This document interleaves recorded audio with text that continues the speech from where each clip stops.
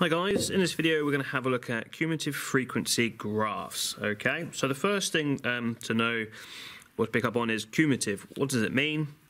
In this case it just means a running total.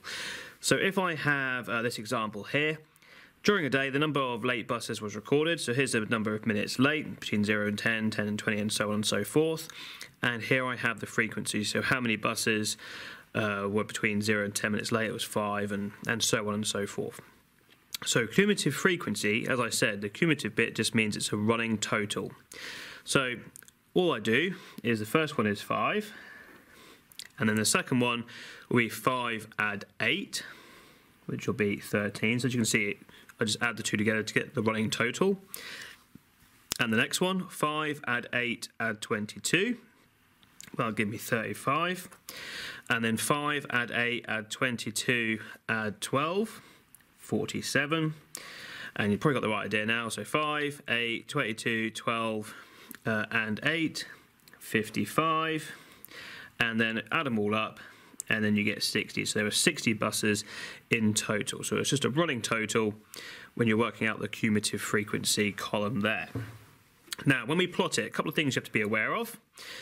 When you're plotting, you have to use the upper limit. Sometimes in the exam, they'll give you an extra column and tell you to write the upper limit in it. Uh, otherwise, you can just remember and use it from uh, this uh, part of this column here. So I'm going to be plotting 10 and the cumulative frequency is 5. So there's 10 for minutes late, which is the upper limit. I'm going to plot 5. So there we go. Uh, next one, upper limit is 20, and it's 13. So roughly about there. Now obviously when you do this in the exam, you'll have the actual graph paper, so you'll be able to do this a lot more accurately than I'm doing right now, but you get the idea. So next one, upper limit is 30, and it's 35. So there. Next one, upper limit is 40 and 47. So about there. And upper limit is 50 and 55.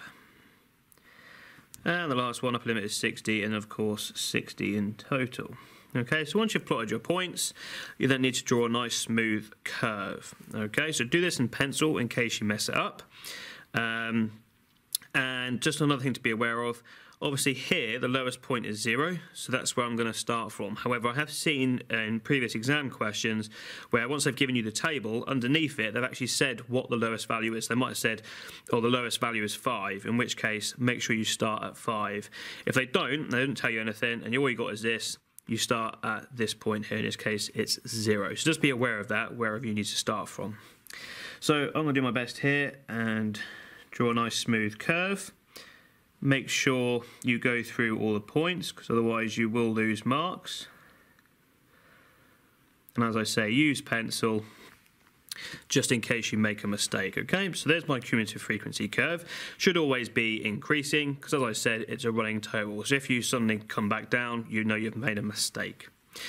Uh, questions that can be asked with a cumulative frequency are estimating the mean, the upper quartile, lower quartile, and then the interquartile range. So Let's start off with the median. So the median is the middle value. They're already in order, okay? So I'm going to find the middle value. So if the total is 60, not to be confused with 70, although the uh, cumulative frequency uh, or the y-axis goes up to 70, the actual total is 60. So just be aware of that. That has caught some people out in the past. So the total is 60, so the middle would be 30. So I'm going to get my ruler and draw a line going from 30 across to my cumulative frequency line and then a nice straight line going down.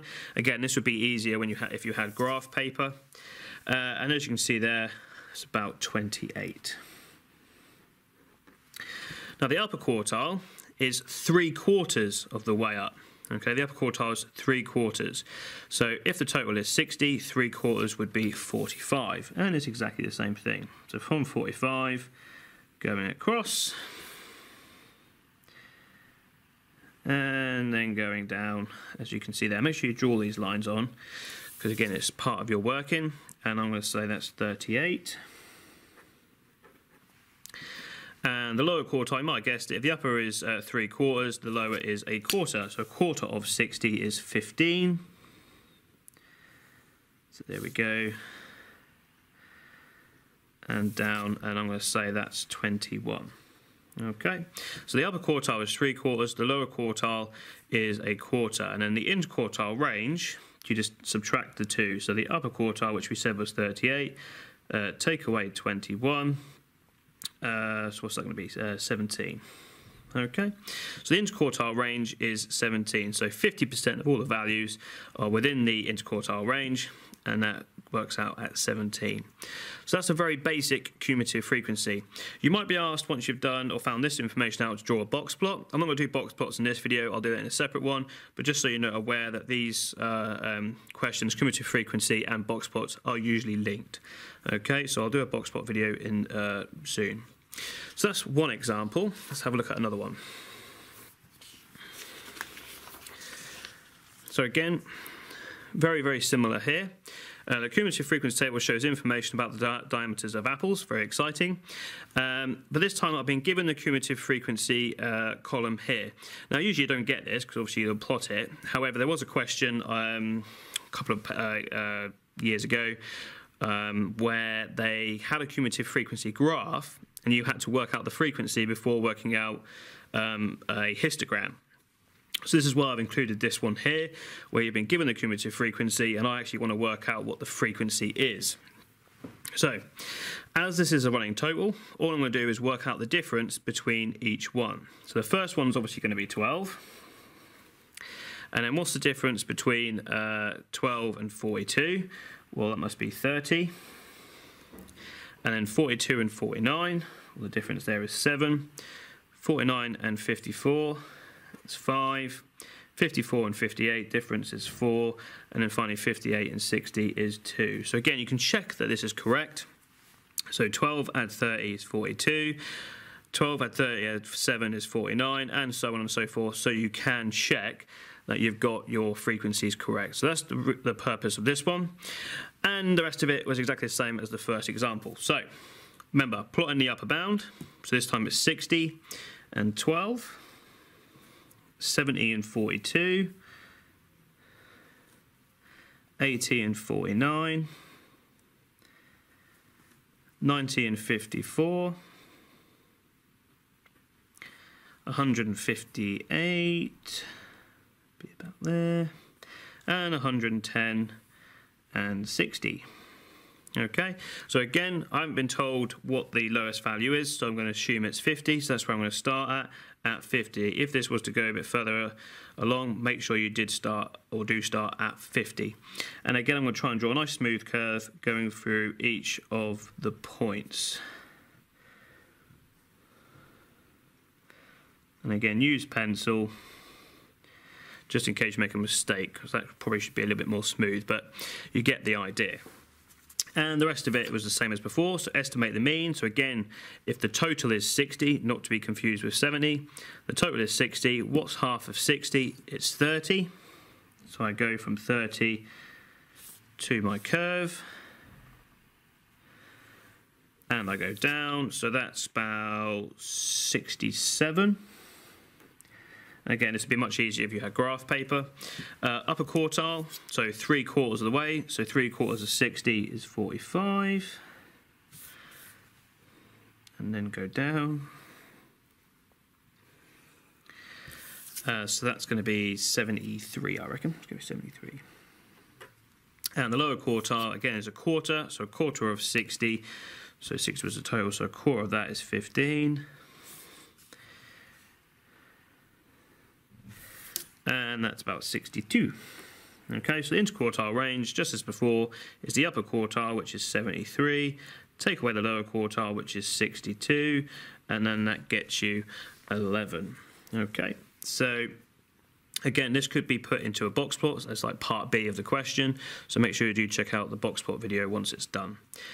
Okay, so that's drawing uh, cumulative frequency graphs. So next thing I want to have a look at is this here, where they give you a cumulative frequency uh, graph already done, and they ask you some questions. So this one here is students who've just done a test. So the first question it says is how many students took the test? So again, it's not how uh, high the y-axis or cumulative frequency goes to, it's where the graph ends. So here's where it ends. So I go across here and it's 60.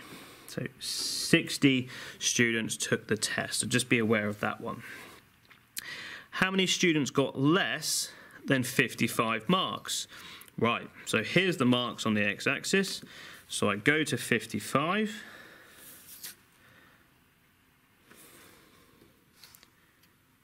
I'm just looking at this. Yep.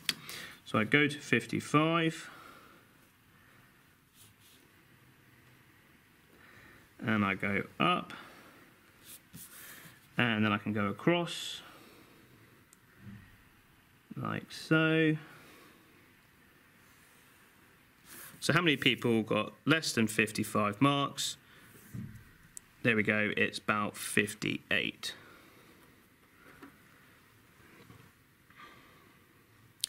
Next one, how many students got over half marks? So half marks, well, they ends there, the cumulative from the graph. So I go down to 60, so half marks there would be 30. So I'm going to go up from 30, and I'm going to go across. So how many students got less? So it's less than, than this. So as I go to there, it's 35. So how many students got less than 50? Uh, sorry, Oh, sorry, I'm here now, aren't I? How many students got over half marks? So this time it's over half marks. So if 30 is half marks, I go up, I'm looking at here. How many are over? Okay, so under is 35, which means over must be 25. So it's 25 students, okay, because I've got, that's 35, so 35 students got under half, and there's 60 in total, which means 25 must have got over. And you can do, test that if you like. So 5, 10, 20, so yep, 25. Next bit says write your answer as a percentage. Well, it's 25 students out of a total of 60. So if you do 25 over 60, times that by 100, you can then get that as a fraction, which if you use a calculator comes out at 41.67%. Okay. And last question here, if three quarters of the students pass the test, what is the pass mark? So this one here is a bit, bit trickier. If three quarters passed, that means that one quarter failed or did not pass. Okay, in which case, if I find a quarter, remember 60 was how many students there were, so a quarter of them are failing, so a quarter would be 15, so I go from 15 across, and down. So then I come to 20 marks. So 20 marks would be the pass mark because a quarter of them failed. So everything below that would be a fail. Everything above that, so three quarters above that, that would be the pass. Okay, so just make sure that you're being a bit careful there. If you find three quarters down down here, so go from 45 and across, that'll tell you uh, three quarters of the people who, who got below that. Whereas you don't want that, you want to know how many three quarters above that. So to work it out, we find a quarter, and then everyone above that has passed, everyone below that has failed. So a quarter would be 20 marks. Okay, so hopefully that makes sense. Um, thanks for watching, guys. Cheers.